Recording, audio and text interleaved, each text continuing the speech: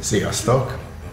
Kedvenc filmem fiatal koromból, azt nem merném mondani, hogy tínédzser koromból, annál már én idősebb voltam, de nagyon meghatározó volt az én életemben Tarantino-nak a Pulp Fiction, regény magyarul, ami számomra egy, egy releváció volt, mert egy teljesen új, izgalmas struktúrát próbált ki, ugye ez a mozaikokból összerakott történet, amely aztán ugye a, a végén, végén válik egységessé, elképesztő színészek, elképesztő színész felfedezések, ugye régi arcok újraélesztése, amiben Tarantino nagyon nagy mester, és a dialógusok, tehát minden, minden olyan, olyan filmes forma, amely izgalmasá tesz egy filmet, abban megtalálható.